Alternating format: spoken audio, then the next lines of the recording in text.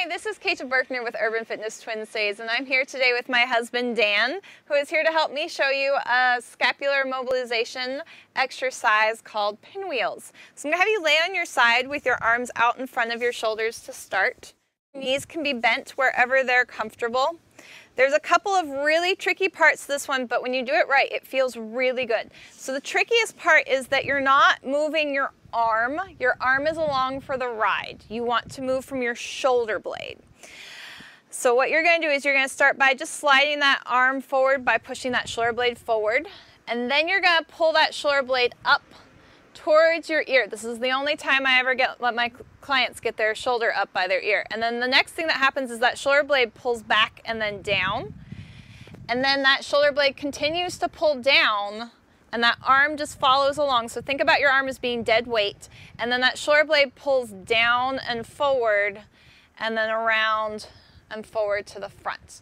So you do it top to and around and then you reverse. So let's do one going down and I'll have you flip over. So that shoulder blade goes down and then it goes down and back and then it goes more back and then it goes back and up.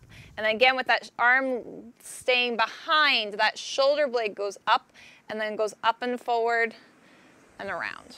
Yep, good. Flip over, we'll show the other side so they can see what your scapula are doing. So that was so you could see where the arm does. And it's just really like dead weight, so it might bend, it might just fall, but whatever is comfortable with that arm. And the other really tricky part is making sure that your hips and rib cage doesn't move. You want to keep them nice and stable so you're not moving from your ribs and your hips. It's all from your shoulder blade right back here. So the first thing you're going to do is push forward and then that shoulder blade goes up. It's almost like a hand moving along the clock. You want to feel as if you're touching each number with your shoulder blade. And then from here, this is where we really want to lead our with our arm. But you're going to start by pulling your shoulder down, shoulder blade, and then down and forward. And then that arm just acts like dead weight as that shoulder blade pushes forward and through. Yep, go ahead and do one more of that direction. So go up and around and then pull that shoulder blade down, down, down, down, down. Yes, and then it comes down and forward, and then you reverse. And you can do anywhere from four to six. Make sure that shoulder blade comes down before your arm moves. So your arm is just heavy. Relax your arm almost. There you go, that's better. But you can do four, six, eight, whatever feels good.